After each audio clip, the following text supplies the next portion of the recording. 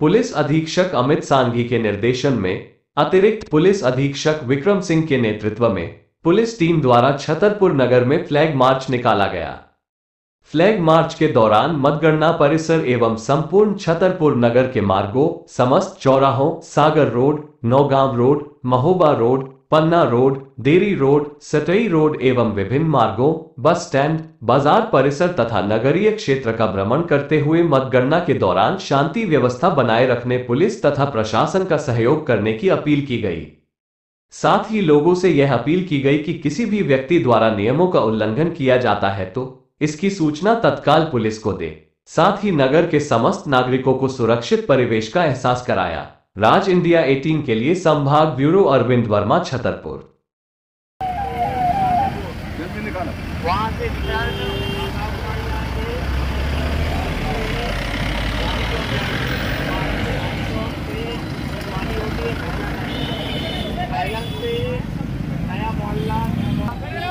Railway station से वापस पटना का